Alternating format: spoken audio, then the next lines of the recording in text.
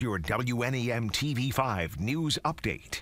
Good morning, everyone. I'm Elise Ramey. Here's a look at the top stories we're following today. The start of the trial for the parents of the Oxford school shooter, James and Jennifer Crumbley. Prosecutors say new evidence shows they knew about their son Ethan's poor mental health when they bought him a gun. James and Jennifer are charged with involuntary manslaughter. In court filings, Jennifer told law enforcement she didn't know much about Ethan Crumbley's mental state leading up to the shooting, but prosecutors say she expressed concern to her husband in Facebook messages about Ethan's drawings. The Crumbleys have pleaded not guilty. That trial set to start at 8:30 this morning.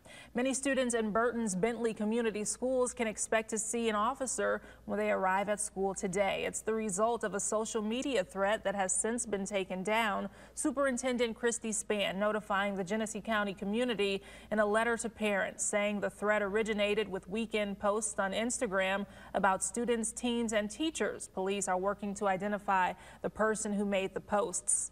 Dort Financial Credit Union officials at Genesys Conference and Banquet Center in Grand Blanc to donate more than $19,000 to the Food Bank of Eastern Michigan and the Care House of Oakland County. The food bank says the money is expected to make a huge difference. Each organization will receive just over $9,000 each.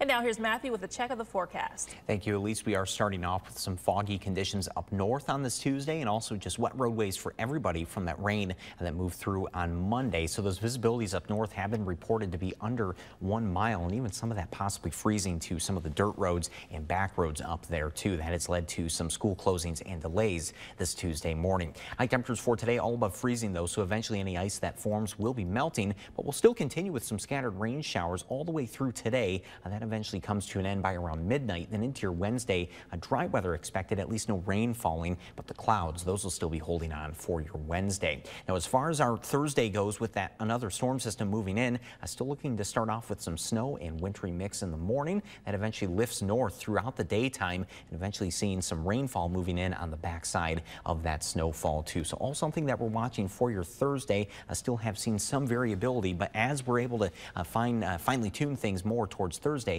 we'll be the first to let you know about that. But by the end of the week, we are expecting highs around 33 to 34 degrees, so a little bit cooler uh, by the end of this week. But Thursday, that's the day to really pay attention to in the seven day forecast.